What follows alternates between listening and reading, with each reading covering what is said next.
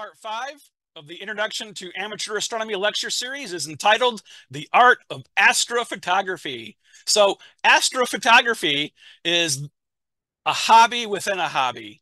It's where the art of photography meets the hobby of amateur astronomy. So, I began my journey as an astrophotographer many years ago. And when I started, we had one of these. We used these back then. So this is our old friend. This is a 35 millimeter single lens reflex or SLR camera. And I do not miss those days at all. Um, because film was a pain in the butt. There were times I thought I loaded the film, but it either tore in the spool or came unraveled. And I thought I took a whole roll of images to find out I didn't take anything. So good riddance to the old 35 millimeter SLR camera. And frankly, today it is a dinosaur. All right, so if that doesn't wake you up, nothing will. So as usual, as you become accustomed to in the Introduction to Amateur Astronomy series here, I always like to mention some books that are available for the astrophotographer, uh, but I freely admit I do not own any of these books. I started astrophotography, as I mentioned, back in the film days. Uh, so pretty much any book I own on astrophotography is back to that era. So uh, all my books are a little dated, but these are all some of the really uh, good ones that I believe are available today. Uh, there's the Deep Sky Imaging Primer by Charles Bracken. I had to mention this one, The Art of Astrophotography. I've been using this title long before Ian Morison did with his book there, so I don't have like a copyright on it or anything, but seems like every time he sells a copy of this, he, he should give me a nickel, but I'm sure he won't. Um, and then there's uh, uh, photography, uh, night sky. Those are uh, uh, fairly well-known books as well. There's also um, astrophotography by Thierry Legault. Uh, he's a very well-known astrophotographer, as is Chris Woodhouse, who has the astrophotography manual. Uh, but again, I don't uh, actually own any of those books, so, so I can't highly recommend any of them specifically. Uh, but the bad thing about hard copy books in the days of digital imaging, which we're in now, is things are rapidly changing. They're changing all the time. Uh, so perhaps some of the best books on astrophotography are digital because they can be updated very rapidly. So Jerry Lodriguss, very well-known astrophotographer from New Jersey, he has a series of electronic books you know ebooks. And here are just some of them here. Uh, his most recent one uh, deals with the smartphone. He's he's mainly into smartphone astrophotography now. He's pretty much retired so he doesn't get into the really complicated astrophotography anymore at least uh, according to him. So the great thing about these books uh, is they can be updated very easily and you can just download the updates. Uh, the one book I do currently own that's fairly modern is by Alan Dyer. So if you really want to get into the uh, main type of astrophotography we'll talk about today, doing nightscapes with a camera and tripod and maybe a star tracker, uh, this is the book to get. I highly recommend this book. Again, I do have this on my iPad and I uh, reference this quite a bit. So uh, it's called Nightscapes and Time Lapses. I haven't even got to the time lapse part yet. I've been kind of reviewing the uh, Nightscape part uh, as well. So there are two versions. There, there's the iBook, um, the last I knew, that was about $28. It may have gone up a bit since then. So you can get the iBook for your uh, Mac-based machine like an iPad. It does have a PDF version that costs a little bit less because it doesn't have as many features. The Apple version is about 580 pages, while the PDF version is 425 pages. The Apple version has 20 embedded uh, videos, while the PDF version has links to videos because you can't really put uh, videos in a PDF file. You, you can, but it ain't easy. Uh, it does have 50 step-by-step -step processing tutorials. It has equipment reviews, software reviews, and even a really nice astronomy 101 section. So if you don't have Alan Dyer's book and you um, uh, have an iPad especially, but even any ordinary computer uh, where you can open PDF files, which should be all of them, uh, I, I can't recommend this book more. So we'll begin talking about uh, the astro, the the type of astrophotography that anybody could do. Uh, maybe some of you are, are, are just attending today to get your certificate, which again you can only get if you're attending on Zoom. If you're watching this later on YouTube, don't contact me to try to get a certificate. But if you otherwise have no interest in astrophotography, this is the type that anybody could do. So we'll begin with tripod astrophotography. So first and most basic piece of equipment that you need is obviously the camera. And today there are a couple of options out there. We have the digital single lens reflex camera, the successor to the 35 millimeter camera. So in place of film, there's a CMOS or complementary metal oxide semiconductor sensor. And they come in uh, basically two varieties. There's there's different sensor sizes of the DSLR. There's the full frame camera that basically has a CMOS chip the same size as a, a piece of 35 millimeter film.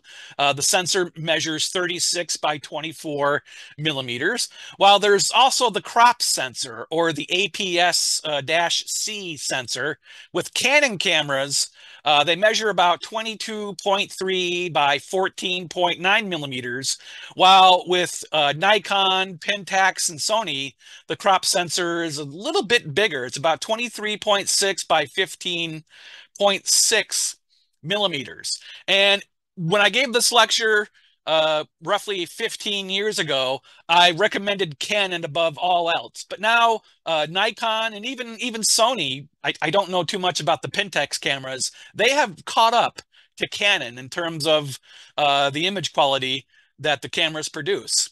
But the DSLR even though it's still pretty much the mainstream type of camera, is becoming a dinosaur itself, like the 35 millimeter camera before it, because the digital single lens mirrorless camera, I'll call it mirrorless for short, takes me too long to say DSLM. I, I say mirrorless a lot faster.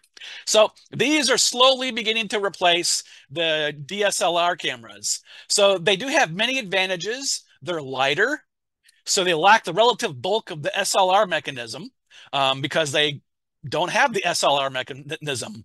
Instead of a uh, optical viewfinder, it's a digital viewfinder. You, are actually looking at an image through the viewfinder, or you can just use the uh, screen on the back. So because they're lighter, uh, they're good for light tripods or tracking platforms where weight can be critical. Uh, the short flange to sensor distance um, is shorter than digital SLRs. So they are uh, a little skinnier, a little more compact. They're usually a little smaller looking. Uh, so because the short flange to sensor distance is, is smaller, this reduces the back focus. And this allows almost any lens to be adapted. You just have to buy the special adapter for a different variety of lenses. So if you were a Nikon user and get a Canon mirrorless camera, you just need the simple adapter and you're good to go. So mirrorless cameras uh, have no edge shadows uh, cast by an upraised mirror or sensor masks. Uh, so their images are usually a lot cleaner from, from edge to edge. And they do have good on-screen focusing aid, aids too. So uh, the mirrorless cameras are going to be the successor to the old DSLR cameras.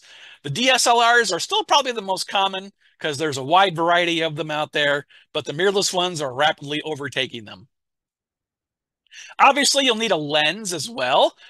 Uh, you, you can, of course, buy a Canon or Nikon camera, for example, with the kit lens, but eventually you'll want to purchase something a little bit better. So for tripod, wide field astrophotography, you want something in the 14 to 50 millimeter range.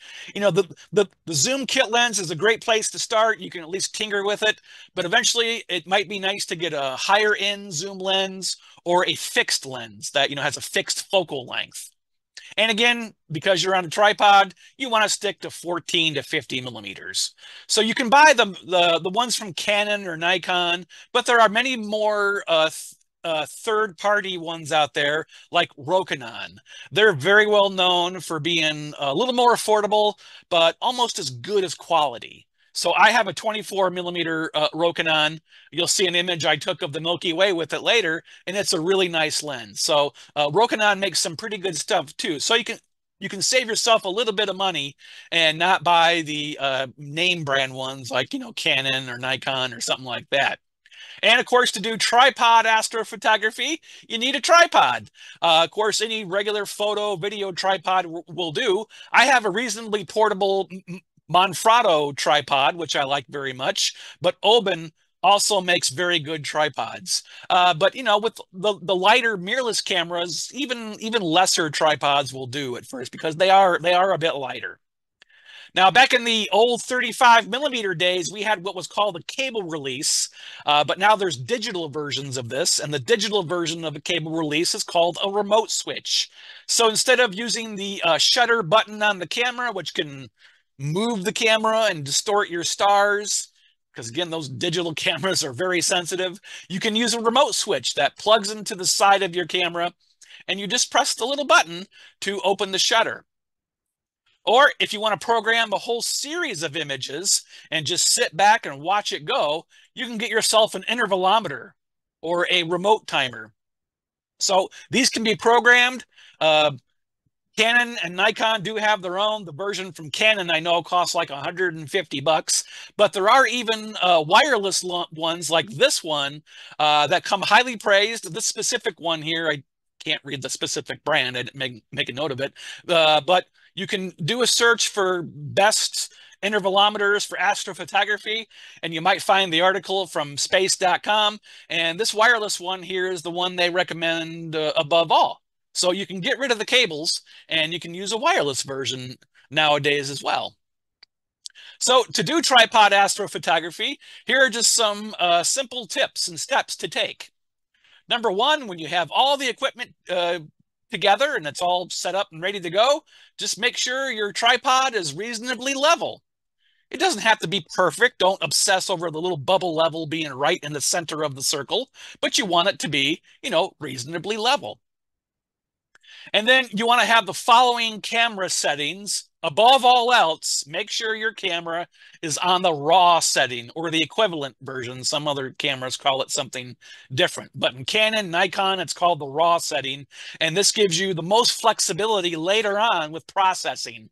Don't lose uh, precious data by saving it as a JPEG. I mean, if you want, you can save it as RAW and JPEG, but you know, I don't know why. Uh, you, you definitely want to save it as raw, have it as raw. And then make sure your camera is set on the bulb or manual setting, unless you're going to keep your exposures under 30 seconds, because most uh, most digital cameras you can uh, uh, program or set up to 30 seconds in exposure. Uh, so that makes it a little easier. But um, if you're going to go longer than 30 seconds, then you definitely want to be on the bulb or manual setting and make sure your balance is set to daylight. I've I've compared it. I've compared uh, the setting here to the the balance setting to uh, auto and daylight. Daylight does give a little bit brighter image, so it does make a slight difference. So make sure your camera is set to daylight. And this rule can be broken uh, because digital cameras, DSLRs, DSLMs, they're the, the noise level is getting so good now uh, that you can go beyond ISO uh, 1600. So obviously, the higher the ISO, the more sensitive the camera becomes. So it's like using faster film back in the old film days.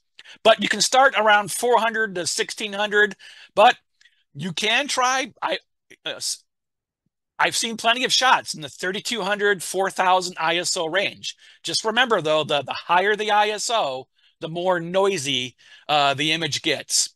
And make sure your lens is set to manual focus there are some there's at least one lens i own where you turn that thing right to infinity and it's in focus. Uh, but most lenses aren't like that. Most lenses don't focus right at infinity for astronomy. So make sure you check. The great thing is you get instant feedback on your screen. You, you can turn on the live view um, you know zoom into a star and you can get that focus really really tight. Um, but don't trust the autofocus for any for most forms of astrophotography. Maybe on the moon close up, uh, you might get that to work, but otherwise, not so much. You want to make sure the focus is on manual. And unless you got a really good lens, you know, really expensive f2 lens, you want to keep the lens's focal ratio between f2.8 and f4. Uh, if it's kind of a lower quality lens, then you do want to stop it down to about f4 or so. Your exposures will have to be a bit longer, but you'll avoid getting distortions of stars on the edge of the field there, because um, you know stars are the most strictest of uh, optic testers. And as I mentioned, focus on a bright star. It's so much easier today. You know, back in the film days, you just took your chances, really. Uh, some of it was experience later on, but early on, when you're just getting started, you just kind of hope for the best. And sometimes it just didn't work out. But today, you can focus on a bright star with the live screen. And uh, most cameras at least have a, a, a 10 times zoom. Uh, there's a mirrorless uh, camera from Canon that's designed for astrophotography, and that goes up to a 30 zoom, which is even more important or critical to get you a good focus. And then, of course, frame your shot. You can, you know, look through the optical viewfinder with a DSLR or the, you know, the the digital viewfinder through through a mirrorless camera. Uh, but what what I often do is when I do want to take like a picture of the Milky Way, for example, I just uh, take a really short exposure at a high ISO. It might look really noisy and really icky, but it shows you how your framing is. Because today you have, you know, maybe like a 128 gigabyte storage card. You have thousands of and thousands of images that you can take even in the raw setting so why not just sacrifice a few shots from your camera uh, check in to see how the framing actually looks on the screen as opposed to the viewfinder and then go ahead and take exposures between 10 and 30 seconds. Now, if you are going to image uh, the Milky Way or do constellation photography and you want relatively pinpoint stars, then you want to follow what's called the 500 rule. So with the 500 rule, uh, the maximum exposure you can take in seconds with no trailed stars is 500 hence the name, divided by the focal length of your lens, which is always in millimeters. So that'll give you usually something between 10 and 30 seconds, maybe a little bit longer for a really wide angle um, lens, but usually the 500 rule works pretty well. There is a version of the 500 rule for crop sensor um, cameras, but uh, I just show the basic version here because again, you have thousands of images that you can do on your storage card you know, go ahead and sacrifice some and, and you'll learn by trial and error too, because there's no better teacher than making mistakes. And frankly, if you don't like making mistakes, then astrophotography is not for you because I've made some humdingers over the years, and I'm sure many others that have shot the sky out there as well have. Uh, so that that what that's what teaches you the best. And then finally, number six, make sure you expose to the right. Usually when you take your picture, you have that nice big preview on the screen, but you want to cycle through the different uh, view modes on the uh, back screen of your camera and look at the histogram. So this little curve here, this little graph is called the histogram. And if this curve is crammed against the left, you know, just really bashed against the left side of the histogram, then your exposure was too short. So quite often with all forms of astrophotography, really, the sweet spot of the histogram is to have the curve right about there where you see it on the screen there. Because if you expose just right, that gives you the most power to process it later. So just follow these uh, six basic steps and you'll be able to begin taking uh, very simple, but very nice tripod astrophotography. We've been showing astrophotos in our club, the Kalamazoo Astronomical Society, for years. And believe me, the ones that get the most oohs and ahs are regular nightscapes that you do with an ordinary tripod. People do love the deep sky stuff, close-ups of galaxies, but it's scenic shots of the Milky Way and aurora that really gets the, the regular folks excited. They really like that stuff. So here's just some uh, a sample of how powerful digital cameras are today. On the right is an old-fashioned film image. I'm very certain This image that I took here is the only film shot left in the lecture. This is it. This uh, was taken from the 2001 Texas Star Party, the first time I ever went, on May 17th, 2001. I used Kodak LE400 film. That was pretty good stuff back in the day. Kodak Law Enforcement 400. That's what the LE stood for. And this is a 60 minute exposure, one hour, piggybacked uh, on my 10 inch LX200 using a 28 millimeter lens at f4. So this is one hour. This image, as you can see, taken from the Okie-Tex Star Party with my uh, old 550D or a T2i with a 24 millimeter lens is 25 seconds ISO 6400. So this breaks the ISO rule that I kind of set earlier. So it's not really a rule; it's more like a guideline. So it's just it just shows how powerful, uh, how much more powerful digital cameras are compared to the old film cameras. So good riddance, film. Now, I would love to show you nothing but my images, but I'm my worst critic. So what I've done here through much of the lecture is pick out astrophotos online uh, that I personally really enjoy. And if you do have the notes, the companion notes to the series, if you're watching this later on YouTube, uh, the notes are available in the video description. Uh, but anyone that registered should have a link to the notes. Uh, there are links to all the images I'm going to show you here today. Uh, so if you're wondering where this image came from, how, how can you find it to learn more, um, that's where. So, so on the back of the notes, there, there are links to all these images, and they should all be good links. I just checked them recently. So I really like this one. This is during a star party in Greece. And I just found this online one day. So this is basically Ursa Major or the Big Dipper above Mar Mount Parnon in Greece, taken with a 500D or a T1i. And you can see he used a zoom lens, 17 to 50 millimeters, set at 50 millimeter, but f2.8. And this is only 30 seconds on a stationary tripod at ISO 3200. So again, we've exceeded the 1600 rule there. And you notice the the bright stars and the Big Dipper have spikes. He used an artificial program called like Star Spikes to create those. You can put uh, cross wires in front of the lens, but there are plenty of uh, like Photoshop actions you can buy or something like that to generate artificial star spikes for, you know, the artistic look here. And here's just a simple shot of the constellation Orion the Hunter with a Nikon D750 and a Nikkor 58 millimeter lens at f2. And to give the stars kind of this bloated appearance where it really makes it stand out and you can see the colors. He used a, a, a Kenko Soft-On Spec A filter. So this filter adds the soft effects on your regular photographs uh, without affecting the sharpest. But for astrophotos, it kind of bloats up the uh, bright stars a bit that really accents the constellation here. So it really makes Orion pop, but you can see the fainter stars are still pretty sharp and, you know, you can see the Orion Nebula there. So again, just four seconds at ISO 4000. And a really great thing about uh, tripod astrophotography is if you have a nice foreground, there's a good chance you can get yourself uh, featured on websites like spaceweather.com.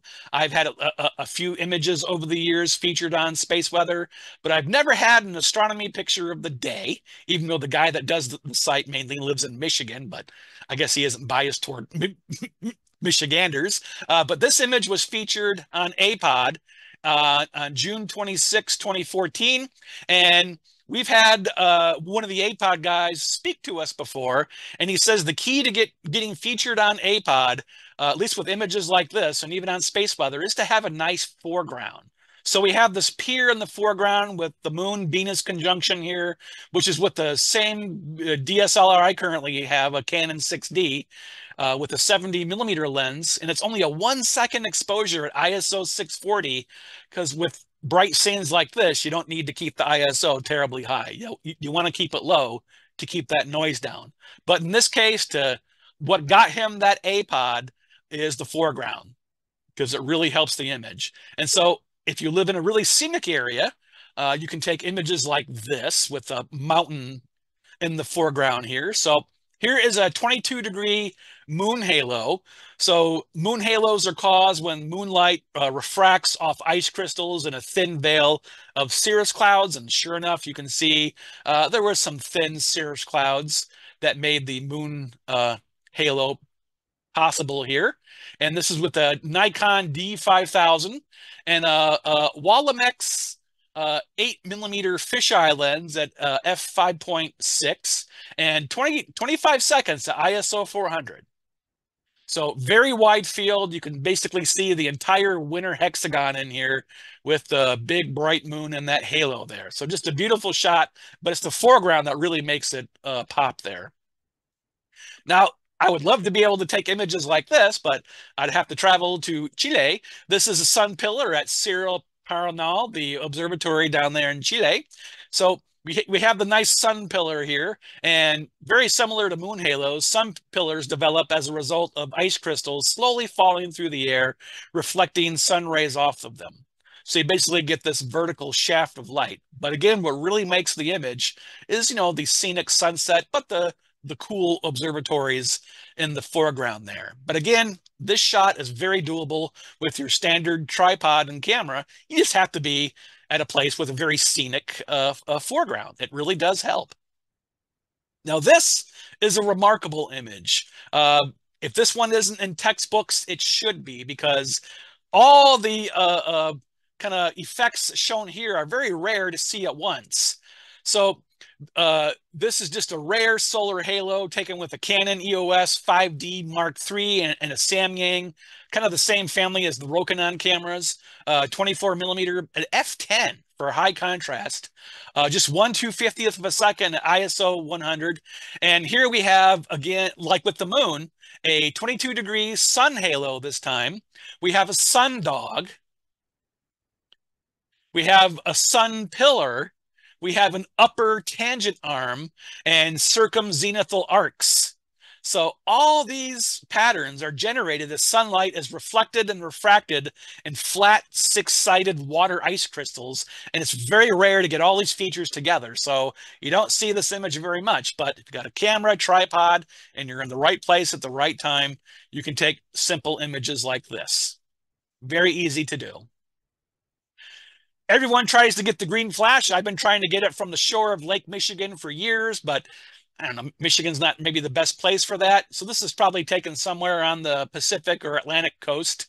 And so here we have a Canon EOS 7D with a 300 millimeter um, lens. So a lot longer lens than you can usually use for tripod astrophotography, but we have a bright subject so it, it's only one eight hundredth of a second in ISO 400.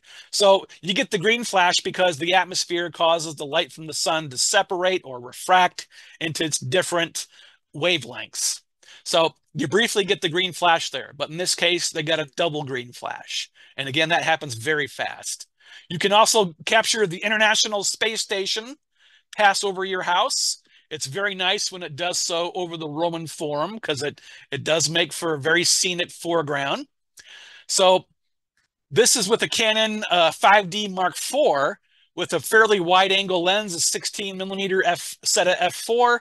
And this time you can see it's not a single exposure like all the ones we've seen so far, because if you take a single exposure, of the space station passing through the field, especially with the, the, bright foreground, it would become greatly overexposed. So what this person did is they took 11 10 second exposures and stacked them together. That's why you get the gaps with the space station there. It's not like it suddenly winked out once in a while. Those are the gaps between the exposures. Now, this person here uh, was taking a time lapse uh, video of the Milky Way. He was taking many images for, for a later time lapse video, but during the course of the images, he captured a nice uh, bolide that left a persistent train. If you ever go to the website and uh, look at his uh, little blog about uh, doing this one night. So here we have a Canon EOS uh, 6D Mark II with a Canon 24 millimeter lens. Uh, very good lens, so it's set at f2.5 and only eight seconds at ISO 3200. But you might get the Milky Way, but it, you just get lucky getting the bolide, but sometimes that does happen. Now here we have the zodiacal light at La Silla Observatory, also in Chile. And this is basically uh, sunlight reflecting off dust in the plane of the solar system. It was often said the, the dust is from asteroids and comets and impacts from you know small smaller objects and micrometeorites. Uh, but now there's another idea that suggests the dust is actually from Mars. But one way or the other, it's dust uh, reflecting sunlight in the plane of the solar system. So you see the zodiacal light uh, really just from very dark sides. Um, you know, you see it listed in Sky and Telescope, like look for the zodiacal light on this night. And I'm always thinking, yeah, right, not from around here. But if you do live under, under very dark skies and see this weird shaft coming from the direction of the sunset, that is the zodiacal light. It can linger on for a while. And if you're under really dark skies, it can be a little annoying.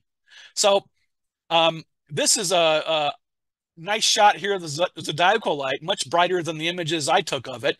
So this is with a Nikon D700 with a 14 millimeter lens at f2.8 because it is a pretty large scale uh, feature. So you do need a pretty wide angle lens to really capture it. And this time you can see it's uh, basically three minutes uh, ISO 1600. So this may be tracked uh, here. So maybe technically this shouldn't be in the tripod uh, uh, section here, but it's a really cool shot. And you can take images like this with just a stationary tripod. And every 10 years, you might get a bright comet. Here's Comet McNaught, which put on a fantastic show in the Southern Hemisphere. So um, most of us in the Northern Hemisphere really never got to see it because it was at its best in January, where we never see the sky around here. So uh, according to the astrophotographer here, Gordon Garradd, uh, the, the, comet very much looked like this to the unaided eye. So uh, allegedly, this really captures how the comet really looked if you could see it uh, low, low on the horizon here. So just a Nikon D200 with a Sigma 20 millimeter lens at f1.8.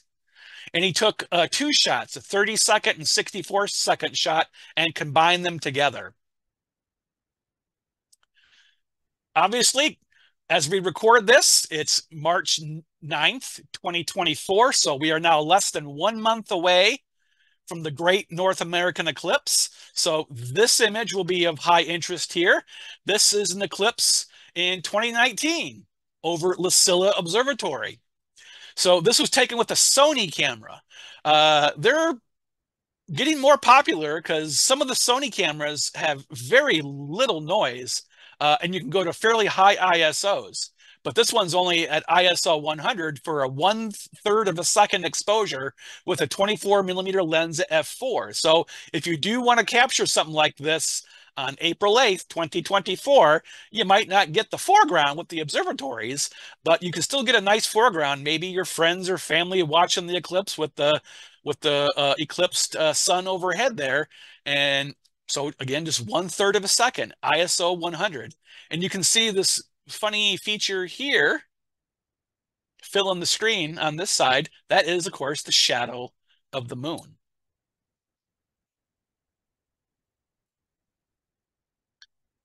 We're getting towards solar maximum. So getting shots like this from lower latitudes may become a little more commonplace here soon. At least I hope so. Uh, but here's some morning aurora from Alaska with a Nikon D850, a 14 millimeter lens. Sometimes the aurora takes up much of the sky, so you want as wide a lens as you can get sometimes. And this is only four seconds at ISO 2500. And remember back in part two, I showed you a video of Aurora in real time, uh, taken with like a Sony camera, because again, they're very low noise at high ISOs, and you can do real time Aurora video as well. But th obviously, this is a still shot here. Now, Star Trails, this is where you want to ignore the 500 rule, and you can really exceed uh, the minimum length to avoid uh, getting trailed stars because with star trails you want trailed stars. So here we have in the foreground some nice petroglyphs with star trails in the background taken with a canon eos 6d the same camera i currently own even though you know it's getting a little dated now. And this is with a canon uh, efs 10 to 22 uh, zoom lens set at 10 millimeters f4 so this is two shots combined together later in Photoshop, most likely. So he took 74 minute shots for a total of 4.7 hours at ISO 400. And he took 30, 30 second shots for the foreground because using Photoshop, you can isolate the foreground and the background and combine them combine the separate images later to get a very well illuminated and noise-free foreground and a very clean background for the star trails. So back in the film days, you basically just tried to take one exposure maybe it lasted uh, 30 minutes. If you tried doing something four hours and some animal bumps your tripod or you bump your tripod or some annoying bright plane flies through, your entire exposure could be ruined. But with digital, you might just be able to throw out one of the pictures where uh, maybe a, a plane flew through or something like that. And to create the star trails from many images combined together, there are freeware available called either star trails or StarStaX that allow you to, uh, that help you process the images. You know, it, it's very easy today. Just get the right bit of software and it does a lot of the hard work for you. All right, so there's a lot to do with an ordinary camera and tripod, but eventually you're going to want to take longer exposures, and that's where you can begin to venture into piggyback astrophotography. So quite often with piggyback astrophotography, your camera rides on top of the telescope. So here we have a DSLR on top of a Schmidt Cassegrain. And these uh, camera adapters uh, are widely available for Meade and Celestron Schmidt Cassegrains. You can do the same thing with refractors, uh, but you might need a short little uh, dovetail and a, and a, different type of camera adapter, but it's not much more uh, in, in depth with equipment needs. So if you do have a telescope already, you can do piggyback astrophotography. So to do this guided wide field imaging, here's what you need. I already mentioned you need the piggyback mount. There are versions available for both uh, Schmidt Cassegrains, and you'll want a, a, a, version like this for either you, your Newtonian or your refractor. This one here can be, you know, panned up and down. Some are fixed. This one you can adjust the uh, uh, tilt angle there, and you want to get it on a, a dovetail plate for Newtonians and refractors. So dovetail plates are widely available from companies like Losmandy or ADM accessories. I purchased from both. They're very, they're both very good quality. Um, there's no real advantage to either one. They're both good. If you do uh, use your camera with a heavier telephoto lens, uh, you might want some kind of counterweight. Um, this is the type to use for Schmidt Cassegrain. For your standard German equatorial mount, uh, you just might need to buy an additional counterweight or just readjust the position of the counterweight, you know, slide it a little further down the counterweight shaft uh, to make sure the system is balanced.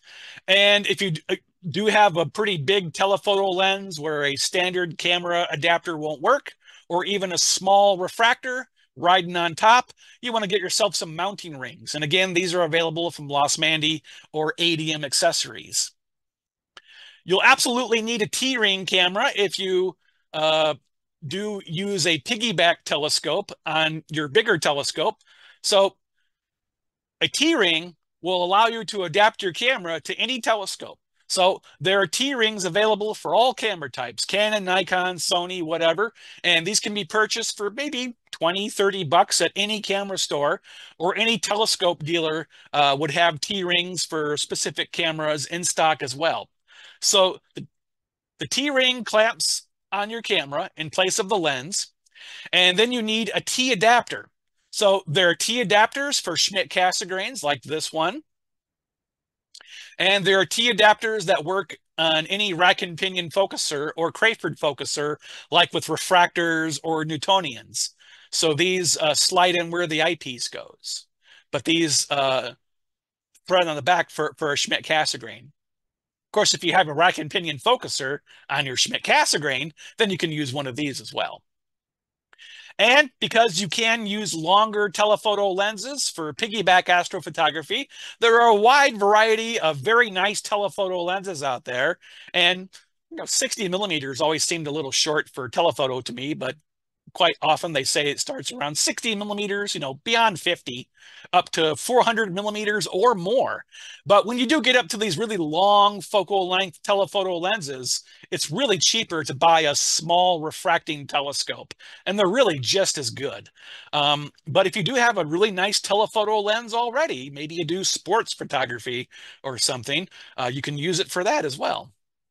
But a refractor is a lot cheaper. So here are some examples of piggyback astrophotography.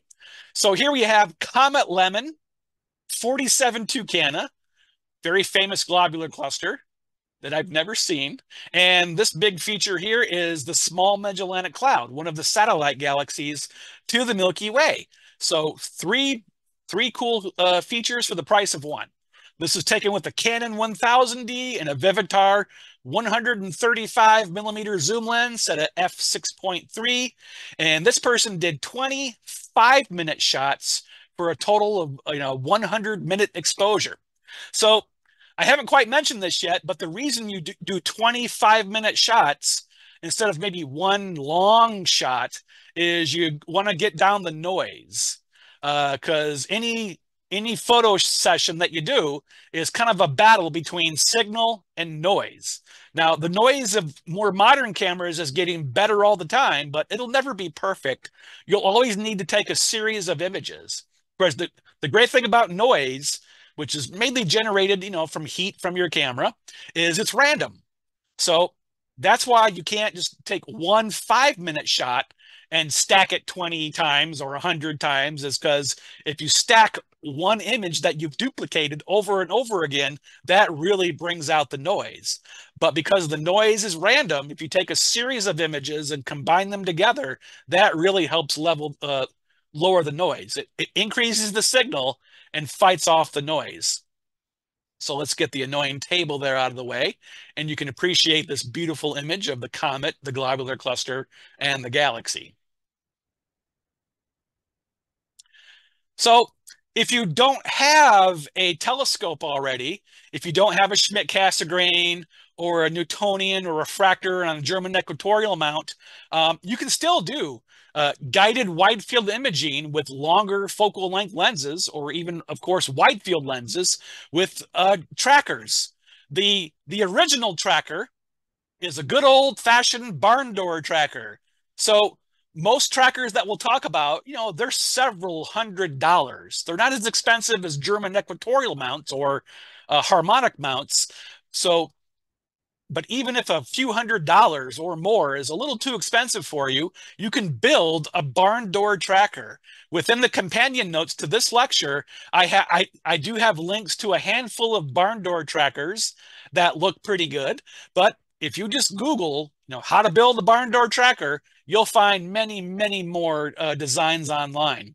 So what you do is you build your barn door tracker here. Some can be motorized, some are manually operated. Um, some you just kind of eyeball toward Polaris. This one has a uh, green laser pointer that you can use it to uh, point toward Polaris. And you can either turn the crank like every few seconds or so, every 30 seconds or a minute or so, or you can have a motor uh, slowly turn like the piano hinge for you because you have like the um, pivot bolt here or and a piano hinge. And as it widens you know you can take a certain length exposure. It depends on how your barn door tracker is, is designed but you can take up to maybe 15 minute exposures with a simple barn door tracker that might cost you just 20 30 bucks to build.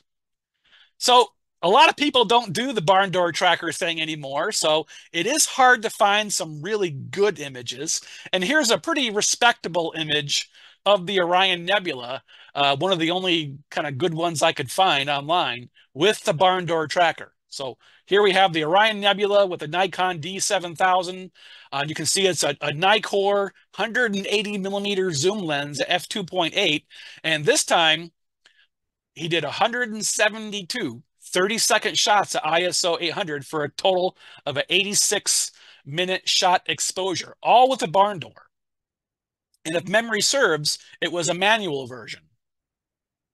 So there you go. You, you can take longer exposures than you can with a tripod with a barn door and save a ton of money. But if you love beautiful mechanics, uh, and maybe even want something you can set up in your living room to, just to admire, you can get yourself an AstroTrac 360. So now I'll talk about these um, uh, uh, star trackers that have become widely available in the past uh, 10, 15 years or so. And one of the more expensive ones is the AstroTrac 360. I mean, look at this thing. It's just a beautiful work of art. I would, again, if I could, I would set this up in my living room if I had one. It's just so beautiful. Uh, so it, it, you know, if you just want both the uh, convenience and the beauty of the machine ship here, uh, you can get one of these, but they are rather expensive. Uh, but it does hold a maximum of 22 pounds or 10 kilograms. So that gives a lot of German equatorial mounts a run for its money. And here's a sample image with the AstroTrac. So here we have the Eastern Veil Nebula, NGC 6992 in the constellation Cygnus. And this was taken with the Sony Alpha 7R with a 500 millimeter Canon lens at f4.5. And with the AstroTrac, he took uh, 30 three minute shots at ISO 800.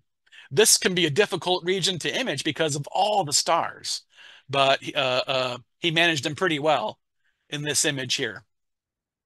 So here, here we have one half of the famous Cygnus loop, also known as the Eastern Veil Nebula.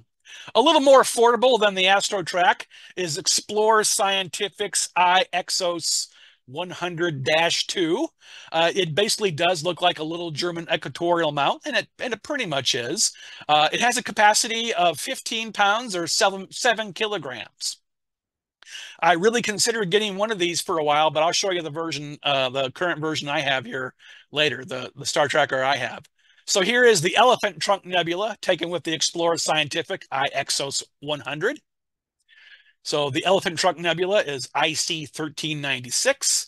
This was taken with a uh, uh, Nikon D810A, which is one of their DSLRs meant for astrophotography. It has the standard uh, filter removed and a, a special uh, astrophotography filter built in. So in this case, we have 36 three-minute shots at ISO 1600. Again, you got to fight that noise with lots of signal. To get that signal, you take lots of images. And it, and it could be many more than 36 sometimes. Another popular star tracker is the Kenko Sky Memo. There are two for uh, two versions of the Sky Memo. There's the KS version that holds 11 pounds, and there's the smaller KT version that holds uh, seven pounds. This is the Sky Memo uh, S here, the bigger one, and this is the Sky Memo T. So again, this one holds 11 pounds. This one holds seven pounds, or five, three, five and three kilograms, respectfully. So here is the very famous Rho Ophiuchi region in the constellation Scorpius. This is Antares, the globular cluster M4 with all the uh, uh, really different colored nebulosity nearby makes it very photogenic. So this is with a modified Canon 6D because you can buy an off-the-shelf DSLR or DSLM. You can either purchase one that's already been modified, you can send it in to have it modified, or if you're really handy, you can modify it yourself. So this replaces the internal filter meant for standard daylight imaging. There is a filter you can add to use during the day. But I would just recommend if you do this route, purchase yourself a, a dedicated uh, uh, camera that's been modified for astrophotography. So it does make them much more sen sensitive in the red end of the spectrum, which is very important in astronomy because lots of this nebulosity, not so much here, I guess, though, is red. So here we have uh, uh, uh 6D modified with a 200 millimeter lens at f3.2 with the Kenko Sky Memo. And this is 210 60 second shots at ISO 1800 or, or 1600. And some people always ask, well, how do I know how to get the right exposure? You really don't. It depends on the current sky conditions. Just take a bunch of photos, maybe more than you think you need. I always take more than I usually end up using because ultimately you might have to discard some. Don't get too discouraged if a satellite flies through the field of view, because after 210 shots, uh, most of them shouldn't really have a satellite in it. And if, if a lot of them do, they're going in different directions. And when you stack it, uh, usually the satellites uh, will kind of cancel, uh, get, get canceled out in the image uh, uh, stacking process there. So don't let that discourage you. Now I have uh, an older iOptron Sky Tracker. Mine looks like a black box, looks like a little black rectangle, but the newer versions are even better. So I know a friend of mine uh, that used a Sky Tracker Pro uh, during the 2017 eclipse, and he took some very nice images uh, with it. So here's the Sky Tra Tracker Pro that holds about 6.6 pounds or three, three kilograms. And this is the uh, shot of the Milky Way that I took. This, again, is from the Texas Star Party, uh, but this time it was at the 2016 Texas Star Party. So this is with the Canon uh, 600D uh, T3i, which uh, has been modified. I should probably make a note of that here. And I used my Rokinon 24 millimeter lens at f4, again with the Sky Tracker. Uh, my Sky Tracker, uh, I I bought a Televue Telepod tripod for it. That works very well. So I just tried a whole series of exposures here. Um, you know, just one 30 second shot, 102 seconds, 120 seconds, 180 seconds to try to help bring out the dynamic range of this area a lot more. You know, it's a bit more work, but you know, just 7.2 minutes and it looks pretty good. There was kind of some haziness because this is when the Milky Way is very low, hence I call it Milky Way rising. And then a little more uh, uh, fancy is the iOptron Sky Guider. This one holds 11 pounds or about five kilograms. So it's a little more robust than the Sky Tracker. And here's a sample image uh, with the Sky Guider of the large Magellanic Cloud. I showed an image earlier of the small Magellanic Cloud, so of course I have to show one of the large Magellanic Cloud. Another 6D was used for this shot with a 135 millimeter zoom lens at f2, and now we have 37 two-minute shots. So here's uh, another robust example, not as fancy as the AstroTrac 360, but if you like machined stuff and not so much plastic, because a lot of these do have plastic construction, at least on the housing, uh, then you want to get yourself a Losmandy Starlapse. And uh, because it is machined, it's much more robust. This thing holds up to 30 pounds or 13.6 kilograms. So here's a sample image of the Pleiades taken with the Losmandy Starlapse. So uh, a Canon 5D Mark II, 700 to 200 millimeter zoom lens set at 200 millimeters and f 5.6 with 21 five-minute exposures at ISO 1600. Now, uh, Skywatcher has the Star Adventurer series. The first one is the TI. Uh, the, the, TI holds about 11 pounds. And uh, a lot newer is the GTI. And this is the one that I currently own. This is my current Sky Tracker, but in really every respect, this is just a, a really small, portable German equatorial mount. Most sky trackers only track in right ascension, which is, you know, the, the stars move in right ascension. But this one will track in right ascension, declination, has an auto guider port. It's fully go-to, and it's very affordable with the uh, I believe with the tripod I got, I got a carbon fiber tripod, not the the standard aluminum version.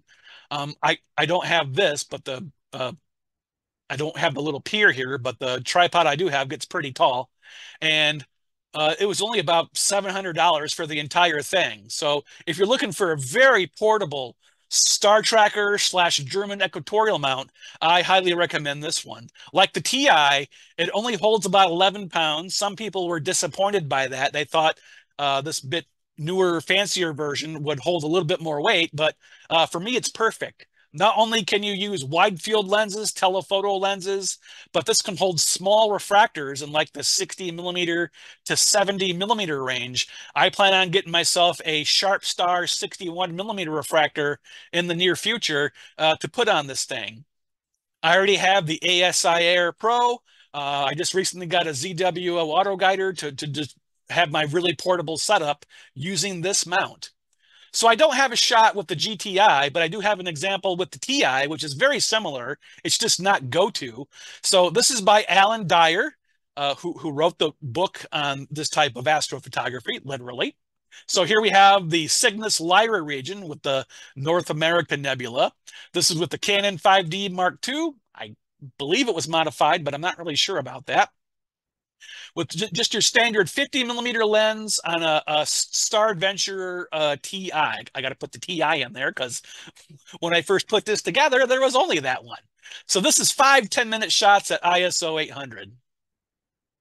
And uh, the folks from Vixen are the one that started this craze with star trackers. Uh, their most recent version is the Polarie U, which holds 5.5 pounds or 2.5 kilograms. And this thing can be converted or you know reconfigured to use it for uh, pans and time lapse imaging. So, you know, the uh, uh, base here turns, and as you're taking exposures, you can just kind of pan across the sky to maybe capture the rising Milky Way or just some rising constellation. So that makes it really versatile. So here we have another comet. This time it's Comet Lovejoy Q2, the Pleiades M45, and NGC 1499, the California Nebula. And this is with the Vixen uh, GP2 photo guider. And uh, you can see it's with the 5D Mark II, 85 millimeter lens at f2.8, uh, 33 three-minute shots at ISO 1600. So just another comet that just was passing through the sky. And here is the one that started it all. This is the Vixen Polarie Star Tracker. This was the first one to come out I think around 2009, 2010 or so. And this really uh, brought about the Star Tracker craze because uh, I'm sure there are ones I'm missing here, but there are no shortage of Star Trackers available. So this one looks very much like the uh, original version of the iOptron Sky Tracker, but it's, it's white instead of black. And it holds about 11, uh, or not 11, but 7 pounds or 3.2 kilograms, but it is very portable and you can take shots like this with it. So here's a wider field of the row of Ophiuchi region. So we have Antares, M4, and this is the, uh, I uh, believe that's the Pipe Nebula in the Milky Way. And you can correct me if I'm wrong.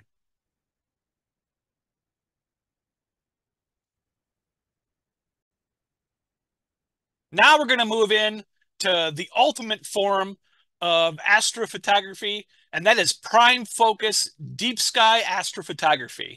Uh, so we're kind of catching up to my limit of knowledge here because this is the area where I'm still getting uh, better and better, or at least trying to.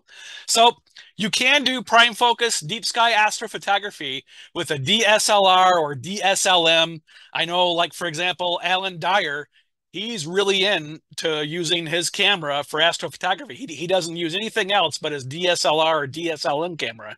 But of course, many astrophotographers are now getting into the uh, cooled uh, either CCD cameras, which are becoming more and more extinct, or the cooled CMOS dedicated astrophotography cameras. Uh, because there have been uh, really good quality uh, Chinese imports that that have made these uh, more popular than ever. So chief among those is the ones from ZWO. I hear some people pronounce it ZWO or ZWO, but I always say ZWO. I don't know how others, I don't know the technical way it's supposed to be said, but I say ZWO. So here's most of their current cameras. I couldn't quite squeeze all of them in here unless I got rid of the pretty pictures on the side, but I didn't want to do that. Uh, so if you're looking for one to start with, uh, there's a couple I would recommend. Uh, there's the ASI 071. This is the one we currently use in Owl Observatory at the Kalamazoo Nature Center. And uh, that camera has produced some very nice images for me. Uh, but another very popular one is the ASI 294. Uh, one of the reasons why this is a very popular camera is it has a very high quantum efficiency. So quantum efficiency is the measure of the effectiveness of an imaging device to convert incident photons into electrons. You know, so for example, if a sensor had a quantum efficiency of 100 uh, and was exposed to 100 photons, it would produce 100 electrons of signal. So the higher the quantum efficiency, uh, the the more kind of sensitive the imaging sensor is. So the ASI 294 is basically around a thousand dollars or so, uh, which is extremely affordable for a dedicated astrophotography camera, and they can be thermal electrically cooled. So the, the sensor can be cooled as much as minus 20 degrees uh, Celsius.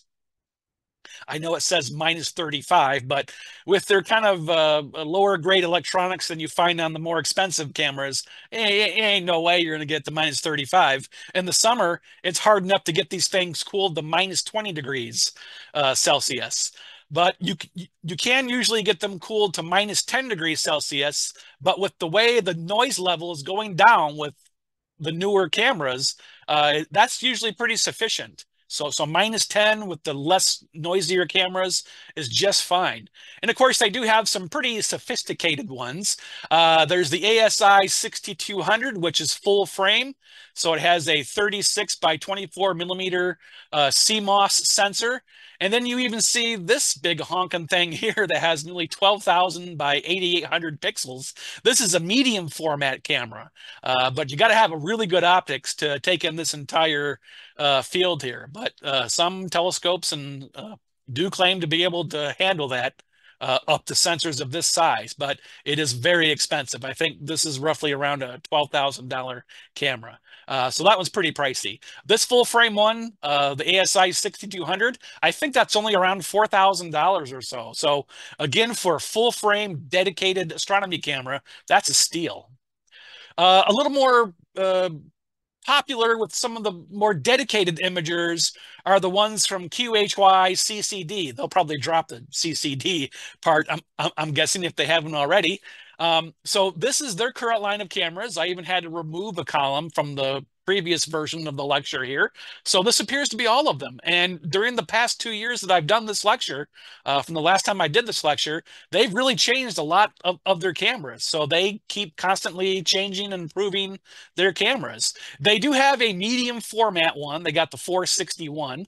Um, so really another really big chip there, but they do have the 600 that's uh, full frame. Um, but some of these, like the 294 again, are very popular um, or even the you know some of these do have pretty good quantum efficiency. But I, have seen images uh, from these from some of our members, and boy, are they just incredibly noise free. Uh, you know, just the the single image that the cameras take are are just fantastic. So, of course, the, the, the, these can be purchased. Uh, um, many of them can be purchased as one-shot color cameras. But to really get the most out of your camera and the, the sharpest images, you're going to want to eventually move into different types of filters because monochrome cameras with uh, you know uh, clear luminance and uh, red, green, blue filters, when you take them take the images through the separate filters, it gives you even sharper images than a dedicated one-shot color camera. So there are the really expensive ones from Astrodon. We use Astrodon filters on our remote telescope in Arizona. And with the narrowband filters like hydrogen alpha, oxygen 3, sulfur 2, uh, we, we had to get the 50 millimeter square unmounted filters. And back when we bought ours, they were 1200 bucks a filter. Uh, so the narrowband filters can be pretty expensive uh, at least from Astrodon. But there are a lot more affordable alternatives today. Uh, I know some folks, uh, even members that have the Antlia line of filters, and they swear by them. They love them a lot, and, and they are much more reasonable for the LRGB filters and the narrowband filters. Uh, there's also Astronomik, uh, Baader Planetarium, of course, has their line. They basically have filters for everything, and even Chroma offers filters. So don't just go to Astrodon, get repulsed by the price, and move on. You know, do look for alternatives out there uh, to save you money. So here's what you can use for wide field uh, telescopes, because if you are going to work your way up to prime focused astrophotography with a telescope and maybe a star tracker, but most likely a German equatorial mount, I highly recommend starting with a wide field refractor. Do not buy like an eight inch Schmidt Cassegrain and think you're, you're, you're going to become the next great astrophotographer with it. You want to start small because wide field refractors are more forgiving um, in terms of polar alignment and focus and stuff like that. So absolutely start with a short focal length, small aperture refractor. And there are many, many options available out there. So here are just a few. If I miss your favorite, I am sorry. So there's Astrotech. Those are kind of the, the more affordable brand of wide field refractors. They do, of course, have longer focal length ones, like the big one toward the bottom there, but they do make a nice series of uh, very short focal length, small aperture refractors that hardly weigh anything, so you don't need a really bulky mount to support it.